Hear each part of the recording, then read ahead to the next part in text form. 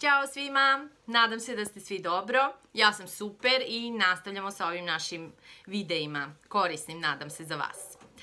E, današnju temu, danas sam odabrala jednu temu koja je onako mnogo po meni kontradiktorna i verovatno ste svi čuli da za termin e, problem ili izazov.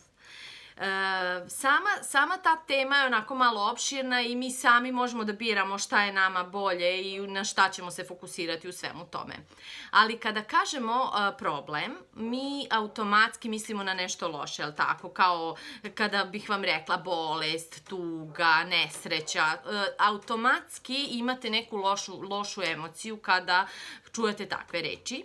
Ali isto tako kad, bi kad bih vam rekla radost, sreća, onda sami po sebi već imate neku dobru emociju i zato je sama ta reč problem negde već na, na, na samom startu onako nešto što nas, a što, nas, što nam otežava ili kad kažemo problem onda znamo da je nešto loše.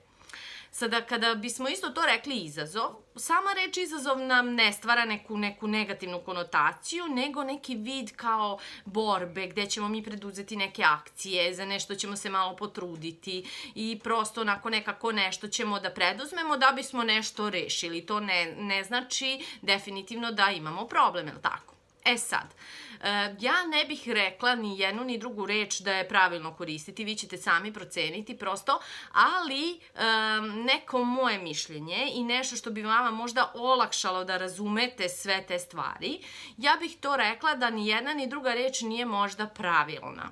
Jer onda nekako možemo da pobegnemo od neke naše realnosti. Definitivno problem, ako je problem, on postoji. E, mi ne možemo bežati od toga da problem ne postoji i da, da je sad sve sjajno i bajno, je li tako? Ali, e, onda, onda ako, ako stvari u tome na šta ćemo se mi fokusirati.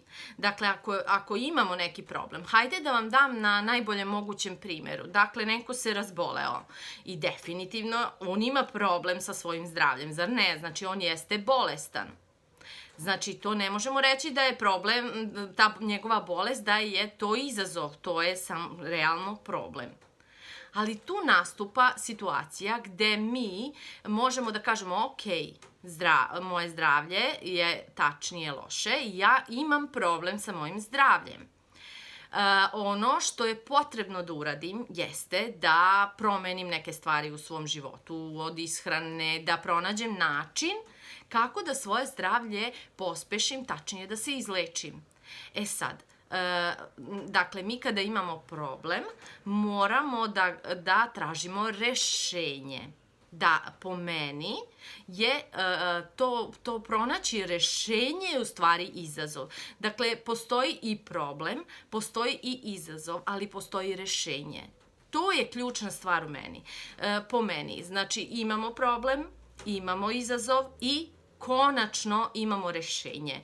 E, ako tako gledamo stvari, ako, se tako, e, ako tako postavimo ne, nešto na svoje mesto, dakle mi ćemo prihvatiti da postoji problem, prihvatit ćemo da je nama izazov da problem nekako rešimo i da nađemo e, na koji način. Opet se vraćam na temu bolesti, dakle da li ćemo mi posetiti lekara, da li ćemo koristiti neke lekove, kako ćemo promeniti ishranu.